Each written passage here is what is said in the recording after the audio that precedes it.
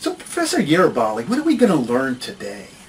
Uh, in this module, we'll learn about the Internet of Things. Ramesh, what's that? So the Internet of Things is, um, is an extension of what you think of the Internet. It is pretty much the future of the Internet because Internet of Things says that we have embedded devices which have sensors and actuators that collect information and affect the surroundings and we we have these little devices which we call things that are going to be uh, machines on the internet and they communicate with each other, communicate to central servers and to achieve some purpose.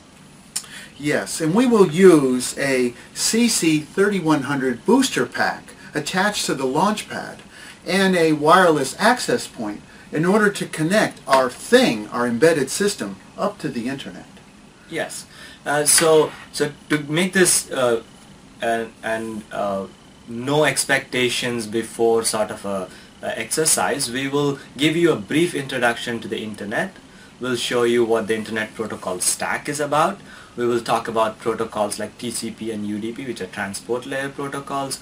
We will show you what a popular application layer protocol is which is HTTP. We'll talk a little about the network layer which is the IP layer and we will show you the classic paradigm which is a client server paradigm by which the internet operates. Okay, and so that means we're going to see this in two ways. And first we're going to see a public weather server and we'll use our embedded system to gather information off of it. Uh, but that really is half of the problem. In other words, this allows the internet to send commands down to the embedded system. In our case it's the weather, but in other cases what might it be?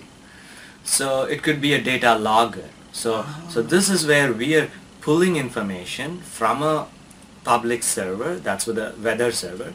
But the counterpart to that is if we could push information to a server and that server will log our information. So your lab is going to be a push uh, information to a server. Our, our demonstration is going to be a, to pull information from a server. Yeah. Enough talking, Ramesh. Let's build it. Let's do it.